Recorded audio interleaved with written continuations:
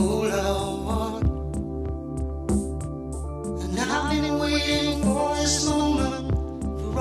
I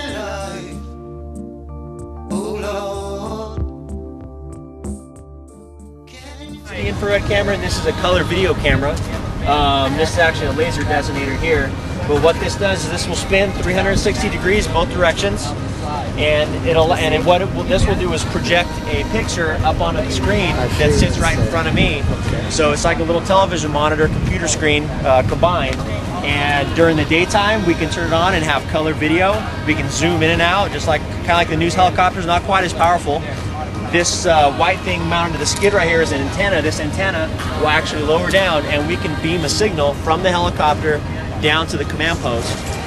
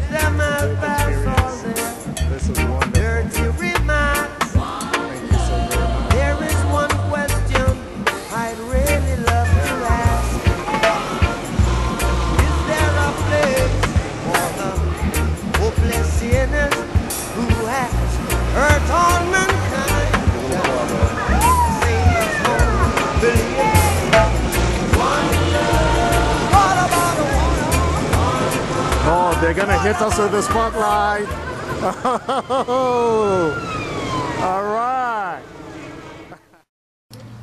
I find that this uh, class was extremely valuable, particularly learning much more about the interworkings of the police department and what it is that they're faced, work, faced with on a day-to-day basis and dealing with the public.